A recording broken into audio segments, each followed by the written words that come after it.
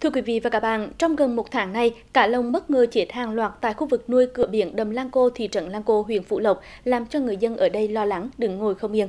Phản ảnh sau đây của phóng viên thời sự. Hồ ông Lê Văn Thùy ở thị trấn Lang Cô, người nuôi hơn 20 lồng cá trên đầm Lang Cô như ngồi trên đống lửa khi cá nuôi của gia đình ông tiếp tục chết trong ngày 27 tháng 10. Ông Thùy cho biết, cá lồng nuôi ở đây chết khoảng 20 ngày nay. Nguyên nhân cá chết, người dân cho rằng do ảnh hưởng của việc thi công dự án hầm đường bộ Hải Vân 2.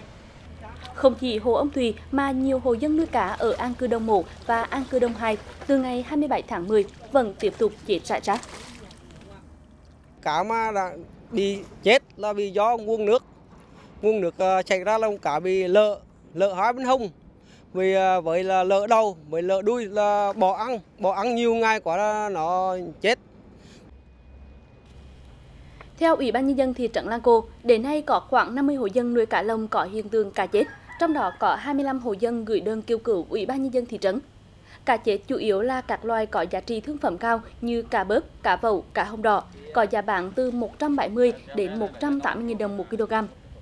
Qua kiểm tra của Sở Tài nguyên và Môi trường tỉnh Thừa Thiên Huế, tại các mẫu đo nhanh có thông số pH đo được dao động từ 8,9 đến 9,1, cao hơn giá trị giới hạn của thông số chất lượng nước quy định tại quy chuẩn kỹ thuật quốc gia về chất lượng nước biển. Do vậy, sự phát triển của thủy sản trong đầm Lăng Cô có thể bị ảnh hưởng bởi sự biến động tăng cao của chỉ số pH so với bình thường. Vì thế, Sở Tài nguyên và Môi trường yêu cầu Ban Quản lý dự án hầm đường bộ Hải Vân thực hiện nghiêm túc các biện pháp bảo vệ môi trường trong quá trình thi công đã cam kết theo nội dung báo cáo đánh giá tác động môi trường của dự án đã được cấp có thẩm quyền phê duyệt. Về phía chính quyền địa phương thì tiếp nhận thông tin và chờ phản hồi từ cấp tỉnh. Hiện nay chính quyền địa phương đã lấy mẫu nước, mẫu cá ờ, gửi cho các cơ quan chức năng để ờ, lấy kết quả. Ờ, hiện nay đang trong quá trình chờ kết quả và chờ cái nguyên nhân công bố của các cơ quan chức năng thì địa phương cũng vận động tuyên truyền nhân dân ờ, tìm các cái giải pháp, ờ, các cái loại kháng sinh để đảm bảo cho cho cho cá.